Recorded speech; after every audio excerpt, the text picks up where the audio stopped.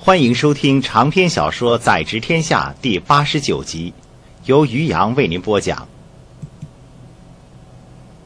站起来，王后就要走，走了两步，又转回头，苦笑着摇头：“哎，都给那两个烟货气糊涂了。本来想做个东道，找玉坤你去衙门外喝点酒的，扯了一堆子闲话，都给忘了。楚道兄既是要请客，小弟哪有不愿的道理呢？”韩刚将笔一放，小本子收进怀里，丢了两句话，就跟着王后走出官厅。玉坤，这样下去不行啊！离开官厅几步，王后便向后一指：“我知道你另有心思，但五个人的事儿压在你一个人身上，铁打的也吃不消啊！这几天虽然忙了些，但了解到了不少事情。衙中的公文不亲眼看一看，不亲手做一下，就不可能明白。”韩刚看了不以为然的王后一眼，又笑道：“不过楚道，你说的也没错，的确不能像这样下去了。拿着一份俸禄，凭什么让我做五个人的事情啊？”韩刚当日说的话掷地有声，王后当天午后就跟着王韶去了古卫寨。王韶名义上是去确认最近已经有大战迹象的硕托、博龙二部的动向。而他的本意，则是对李师中、窦顺清，再加上个相宝三人的得意嘴脸，来个眼不见为净。王克臣和李若愚那两个人的证词，已经早早的到了东京城，与其心惊胆战的等着发落，还不如继续做事，省得自己胡思乱想。等到了十天之后，当王后跟着父亲在古卫寨转了一圈发现硕托、伯龙两家当真要打起来之后，再赶回到秦州，走进购党公事厅时，便看到了一群小吏聚在一起，把韩刚的桌案堵了个严实。王后走近两步，就听见韩刚在里面一一发落着：房子漏了，地板坏了。韩刚已经让一个木工专门等候着为各曹司服务，想调出价格库存档，需呈上主官亲笔。家里分派的老兵手脚不稳，韩刚答应为他们调换。马厩最近用的草料不好，害得马都瘦了。请回复刘参议，衙中马房最近所用的锄头都是上等，两个马夫也同样勤力，其他马匹皆养的膘肥体壮，只有参议的一匹马变瘦，当不是马厩的问题。在下会帮参议找个马医来。韩刚就这么一个一个的把人打发走了，后面又不断有人进来，而他手上的公文批改检查却没有停过。在韩刚身边的一个石盘里放了碗益气补中的香薰银子，看着他在说话之余时不时的端起来喝两口，看起来仍是游刃有余的模样。等着围住韩刚的人群稍少，王后才怒意深重的走上前。这是怎么回事？怎么还是玉坤你一个人在做事啊？其他的四个人呢？空领俸禄不成？初道，你回来了。韩刚抬起头，立刻就要起身相迎。王后却不理这么多，拉着韩刚又坐下，说道：“玉坤，你前日不是说不能再一个人做五份工了吗？怎么现在还是没有变呢？”哎，没办法。韩刚摊开手，很无奈的模样。另外四位辅购，两位告兵在家，两位奔走在外。这几天还是只有小弟一个人。若是有人回来，只要一天，小弟就往甘谷城去视察疗养院之事了。那两个痨病鬼究竟得了什么病？多少天了还没有好啊？要不要准备身素衣给他们送过去啊？楚道兄误会了。韩刚笑着，一边指了指手上公文上的一处，对旁边的一个小吏说了声：“这边错了，赶快去改。”转过头来，一边又解释道：“前些天是相府购、小刘府购生病，大刘府购和曹老府购奉命出外办事；这几天则是大刘府购、曹老府购生了病，相府购和小刘府购出外。这又有什么区别吗？当然没有任何区别。”韩刚说的很干脆：“前七天是甲乙生病，丙丁出外；后七天是丙丁生病，甲乙出外。”窦顺清和李师忠，这是明摆着要跟自己过不去，只是这种手法很幼稚，也太保守，不符合韩刚对两个人的认识。但韩刚对窦礼手法的评价不会解决自己现在的处境。韩刚的差遣虽然是勾当公事，但还有一桩是监管路中伤病事宜，完全可以以后一桩为借口，把管购公事的活计给推掉。就像王朝虽然是经略司机宜文字，但他基本上不做记忆文字方面的事务，而是处理他的监差，提举秦凤西路帆布事宜，并提举秦州屯田事宜。在王韶的计划中。韩刚作为他的助手跟着他跑，而韩刚的打算也是先跟王韶在秦凤西部原边各寨堡走一圈，然后在古卫寨建立疗养院，为下一步打基础。但当王韶和韩刚想做自己的正事时，李师忠和窦顺兴却先下手为强，让韩刚一时之间离不开官厅。韩刚清楚，这并不是他们真正的杀招。李师忠和窦顺清也不是要对付自己，很明显的，他们的目的不是为了自己，而是自家身后的王韶。既然要对付王韶，他们的手段就不会那么简单。现在不过是先挑挑刺儿而已，真的要动起手来，就会一锤定音。可是要定音，不是已经定了吗？韩刚还是想不透，一万顷变成一顷四十七亩。而一顷四十七亩变成零，王克臣和李若愚的结论传到京城。如果王安石不保他的话，王韶只有丢官去职一个结局。这一招已经够狠了。玉坤，韩刚在沉思中被王后一声惊醒，抬头一看，王启年站在自己面前，又呈上了一大摞公文。韩刚看了看公文的厚度，问道：“就这么多？”没少吧？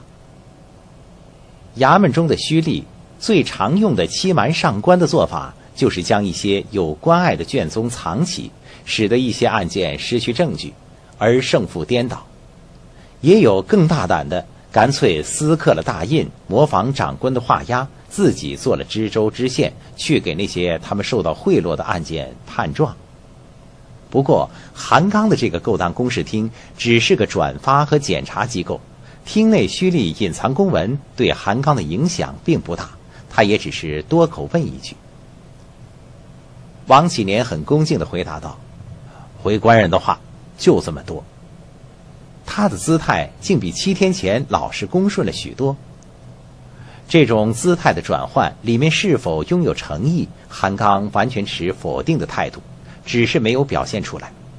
他对王启年一直保持着冷漠。指了指桌案，你就放在这里吧。王启年一言放下一叠公文，躬身退下。见他退开后，王后就在韩刚耳边轻声说道：“玉坤，你要小心一点，他可不是个好人。”多谢出导提醒。韩刚点头谢道：“虽然这些他早就打听到了，不过王后的关心是必须要感谢的。”小弟知道，他过去跟陈局走得很近。王启年是市井无赖出身，又素无品行，身上还背着命案，但他在经略司衙门中说话够分量，跟陈局走得近也是情理之中。另外还有一种说法，就是王启年十几年前能进经略司，还是陈局的功劳。陈局垮台，他在秦州城中各处衙门的眼线耳目却都还在。虽然韩刚可以确信他们没有帮陈举报仇雪恨的意思，但究竟是哪些人，他却要做到心里有数。这种想法很早就有，韩刚也着力打听。王启年的名号也是他在去京城之前就听说过了。王后则是听得糊涂。玉坤。我说他不是好人，是我前些日子看见他跟窦姐走在一起，去逛了惠民桥后的私科子。窦姐，是窦家的那一位。这下轮到韩刚糊涂起来，他一时之间想不起来这个人物究竟是何方神圣。王后提醒道：“是玉坤，你去京城的前一天，在汇丰楼上与刘走马喝酒的时候遇上的那一个窦家老七窦姐。”哦，得到提示，韩刚恍然，原来就是那个涂脂抹粉的，对，就是他。王启年就是领着他去了惠民桥后。王启年陪着窦姐去逛惠民桥后，这事儿楚道兄你怎么知道的？该不会也去逛了吧？韩刚看似毫不在意的开着玩笑，心中却在惊奇：王启年竟然会跟着豆姐那个三世祖。就在当天夜中，白天被韩刚和王后所提及的王启年和窦姐两个人，正躲在惠民桥后的一家上等的餐馆中。窦姐抱着个燕昌，上下磨蹭着。虽说娼妓并称，但实际上妓是卖艺，而昌才是卖身。而王启年站在他身边，低声说着话。想不到韩府购还真能撑，都半个多月了。还是稳稳的滴水不漏，在州衙里面可是有不少人在赞着他的手腕过人呢。窦姐的脸色顿时就像挂了层霜，右手便在一团丰盈中用力一捏，惹来一声竭力忍住的疼叫。窦姐一脚把那娼妓给踢走，当房内只剩他和王启年两个人时，他狠声的说道：“那是谁也没有认真对付他。”家族本是先想从那冠云小儿下手，再去对付王韶，这事儿还跟李经略商量过，只不过现在王韶成了过街老鼠，马上就要丢官去职了，家族就没有心思去动那冠云小儿，才让他得意到现在。小人也听说过，经略相公私底下都想把冠云小儿千刀万剐。王启年眼睛转了转，炸了窦姐一句。窦姐的心里藏不了秘密。听王启年一说，便点头道：“谁说不是？上次李时忠和家族见面，他可是明说韩刚是王韶的爪牙，必先废掉不可。赵小人说，李经略只想着扳倒王基仪，至于韩刚，不过是条虫子，想捏死就捏死，他当然不会放在心上。不过韩三前次太过欺辱衙内，还是一把捏死比较痛快。”杜姐突然觉得王启年他太热心了一点王启年，你跟冠元小儿有什么仇？王启年心中一跳，忙陪笑道：“哎小人不也是为衙内生气吗？冠元小儿身上的粪臭都没有洗干净，哪比得上衙内这等世家子弟？他欺凌衙内，任谁看到心里都会生气。”啊，说的也是。窦姐点着头。说得好，说得好。王启年心中暗暗冷笑。王启年心中暗暗冷笑，窦家的这个衙内真是够蠢的。不过也幸好他够蠢，才会这么听自己的话，挑拨了窦姐出头，动手的只要不是自己，韩三儿就算能脱难，日后报复也到不了自己的头上。想起韩刚，他心中就恨。他这些年省吃俭用才结余下的两千多贯，都投在了陈家的智库里吃利息，想等着过些年老了退休之后，就可以拿这些钱回乡买个大宅和十几顷田，做个富家翁。可是谁想到，韩三儿那灾星一动，什么都没了。王启年心中正在恨着韩刚毁了他的大宅田地，耳中却传入了让他大惊失色的一句话。既然你为我生气，那你就把韩刚往死里掐。你们做胥吏的不是很有手段吗？实在不行，把价格库烧掉也行，那里正好是他管。烧了以后，他肯定是要吃罪的。窦姐不聪明，所以他会把所有的事情都推给其他人做，并认为他人为自己做事儿是天经地义。他为自己的妙计哈哈大笑。一见王启年没有及时点头答应，便又生起气来。怎么，你不愿意？王启年却是目瞪口呆，许久都说不出话来。想挑拨着别人出头敲自家仇人的闷棍，但最后动手的事儿却摊到了自己头上。读书不多的王启年说不出“作茧自缚”这个成语，却是在叹气自己搬起石头砸了自己的脚。谁想到窦姐会是这样的人物呢？王启年苦恼了一夜，想出的几个计策没有一个能用得上。一夜辗转反侧的到了第二天，又是发生一桩出乎他意料的事情来。韩刚生病了，更明确点说，是韩刚告病请假在家养病。可谁都知道，韩刚根本没有病，他是在抗疫。没人能想到，拥有官身才不过几个月的韩刚，连这一招都学会了。韩刚前面他不生病，那是为了自己名声着想；一上任就生病，当然不好，少不得被人说闲话。而半个月之后，经历过日夜处理繁重的政务，把衙中一应琐碎杂事无一处不处理的妥妥帖帖。这样的情况下，他已经可以生病，给自己放个假。李师中没脸拿这事来指责韩刚。李师中、窦顺清与王韶之间有恩怨，而韩刚则是被连累的。现在是韩刚吃了半个月的辛苦，而且还有暗地里遭陷害的危险，他等于是在为王韶挡着箭。他已经抗了半个多月，没有理由再为王韶扛下去。韩刚对王韶已经做到他该做的了。剩下要出生入死、陷自己于险地的事儿，他可不干。对韩刚来说，他已向王韶表现了自己的忠诚，他向李师忠、窦顺清表现了自己的坚持，他已向整个秦州官场表现过了自己的能力，那他还有什么理由再卖傻力气呢？五个人的勾当公事厅，只有韩刚一个人，他一力支撑官厅半个月已经够久了。所以韩刚很爽快的病了。依照时节，四月就已经可以算得上是夏季了。不过秦州的气候比起中原江南要冷一些，气温依然留在春天。晴日的时候，天气仍是清爽宜人，阳光和煦而不炽烈。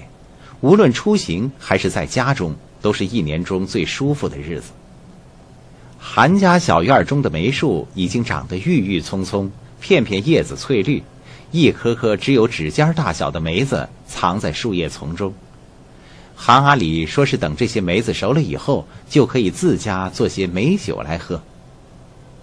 一大清早，让李小六去衙门里帮自己告了病之后，韩刚就靠在梅树旁的一张躺椅上，阳光透过树荫照在他的身上。他手里拿着一本书，很悠闲地翻着，一看就知道病得很重，懒病。躺椅还是韩刚前些日子刚搬进来时请木匠打的，连油漆都没有用，纯粹的原木色。虽然这并不是摇椅，但形制在此时已经算是别出心裁了。韩刚在三月寒食节后踏青，出城后看到的游人都是坐着小马凳。能折叠的交椅，或是干脆席地而坐，即便在家里的院子中，如王韶家，也只是一张交椅坐着，哪像韩刚让人坐的这种斜靠背、带扶手，而且足够结实的躺椅。靠在躺椅上，韩刚享受着难能可贵的悠闲时光。半个多月来，他一直埋头于沉重繁琐的公务。现在的清闲是他前些日子做梦都在想的，这才是官员应该有的生活。奔波劳碌的是胥吏，不是官。其实韩刚第一天就想生病请假了，虽然用繁琐的公务来整人是衙门中常见的手段，许多只擅长师傅的新进进士，往往就是这样吃了大亏，栽得灰头土脸。也有许多奸猾虚吏。为了长官知难而退，使得自己得以把持政务，往往也会用上相同的手段。但李师中、窦顺清实在做得有些过火，四个同僚找借口出去，自己留守在厅内，像个傻瓜一样。但刚上任就请假，实在招人误意，故而他忍了七天。等他跟王后的一番话后，韩刚想了又想。还是决定再忍个十天，至少把自己的才能多展露一些，到时候再放手，不会有人怀疑是自己的能力不足，而是明白他韩刚不想陪李时忠他们玩了。管你有什么阴谋诡计，我照样说一句恕不奉陪。韩刚打算歇个两天，直接跟王韶去甘谷城，在那里考察一下，把伤病营的这摊子事儿做起来。这是他的直思之意。李师中也说不了他的不是。韩刚垂下手，从躺椅边的小鸡上端起一杯微温的茶汤，喝了一口。一只白脸山雀扑棱棱飞到了梅树枝上，尖声叫了两声。清风拂过，树叶在风中沙沙作响，阳光照下的树影变幻不定。韩刚打了个哈欠，这样的安逸清静，实在让人沉迷。后厅一个陌生的大嗓门打破了宁静，传入韩刚耳中，也把枝头上的白脸山雀惊飞了去。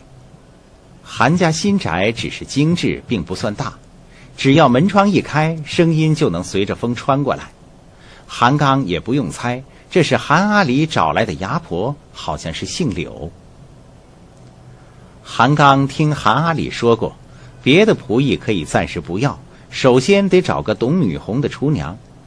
韩刚已经是官人了，都是老夫人的韩阿里自然不便再下厨。